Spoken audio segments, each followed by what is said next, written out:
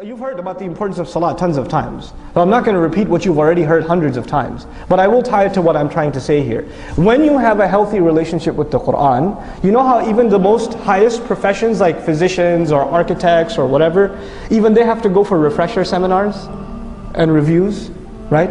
You're, you've internalized this really deep, profound thing. Where do you get your review? Salat. Every few hours you stand in front of Allah and you review what message He's given you, the profound words that He's given you and me. So it's an opportunity for us to refresh our faith constantly. It, it revives us spiritually and intellectually every single time if we are able to engage in our salat. But if our salat is what it is right now, which is pretty much very good cardiovascular exercise, right? And it's not much more than that for most of us. We don't know what's being recited. We don't know what Allah Azza wa is saying in the Quran. Now this is a tragedy. Because the means by which you can keep Quran alive in the community, Allah gave us that mechanism. That institution is salah. When the salah becomes, when the salah is not connecting you to Quran, nothing can connect you to the Quran.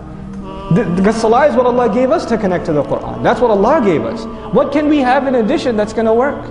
So we have the halaqat and the tafsir and things like that, but there needs to be a mass movement of facilitating Arabic education, for Muslims across the world, and I'm just saying specifically here in the United States, we should have access to the best form of Arabic education for the purpose of us having a better sound experience in salat. This has to do with us surviving. Because when our salah becomes empty, then the entire deen is gone. Because you know, salah is directly connected to three things. I'll make quick mention of this.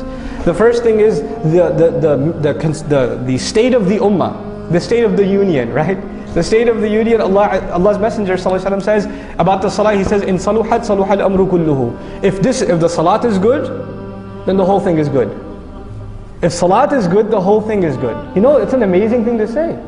It's not just about making wudu properly and facing the right direction, and those are all important peripherals. But what's the heart of the salah? To connect to the word of Allah. To have this deep relationship with, and if that's there, then the ummah is okay then they're connected to what they need to be connected to. You know, their, their halaqah of Quran is when they stand in front of Allah. Subhanahu wa ta'ala. It's an amazing thing. So that's the first thing. It fixes the problem of the ummah. The second thing about salah I want to mention is you know how I said the fundamental problem of, uh, of, of the ummah is iman? Did I say that? Right? You know in the Quran, Allah uses, when, when the qibla changed, well, when the qibla changed, Allah Azza wa says, وَمَا كَانَ اللَّهُ لِيُضِيعَ إِيمَانَكُمْ you know, the Jews came to the Muslims and they said, you've been praying in the wrong, you had the wrong GPS address all these years. Your salat didn't count. Because the Qibla is this one and you've been praying towards Aqsa. You know, they said all those years got wasted, huh?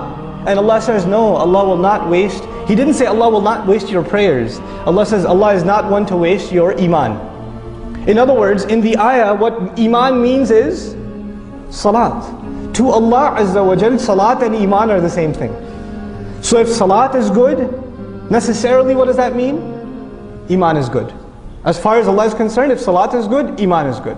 So that's the second thing. The third and final thing I want to tell you about this fundamental, which is salat, that as an institution that we need to protect and, and, and savor, is that Allah Azza wa Jal calls the entire Quran dhikr, multiple times. In huwa illa dhikrun, you know, wa Quranun mubin, kalla innaha tadhkira, wa dhakkir bil Quran, right? So Allah Azza wa Jal, you know, over and over again, Allah mentions that the Quran is reminder. But what does He say about salat? He says, وَأَقِمِ الصَّلَاةَ لِذِكْرِ Establish salat so you can remember me. So the Quran is remembrance and salat, Allah also calls that remembrance. In other words, the real way to remember Allah through the Quran is the salat. So salat is our second fundamental. We have to fix it. We have to understand what's being said. And I, we have to, I, I can't just say this philosophically to you, I have to mention some practical things too. Here's the one practical step, for instance. So the Imam reads Surah Al-Adiyat in Maghrib. Right? Even if he doesn't read the, the whole, one little bit of Adiyat in first rak'ah, a little bit in second rak'ah. It's a short salat. At the, immediately at the end of salat, you know what we recited today? We recited these ayat. And just a couple of things about those ayat. If, we, if we're not at the level of understanding Arabic yet, at least get something out of that salah. What did, what did Allah say to us in this salah? What did Allah say to us in this surah? Something from it, even if a little bit, to give Muslims a taste of what they're missing. If we just had a taste of what we're missing, being motivated to learn this book and to educate ourselves and our families about this book would become easy. Because if you just have a taste of this treasure, you become addicted. It's very easy.